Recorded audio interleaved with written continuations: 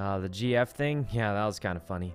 um, I can't believe Rae got so trolled, guys. She got so trolled. She completely fell for it, even on my day off. I think that's actually why she fell for it, though, but it made it funnier. Um,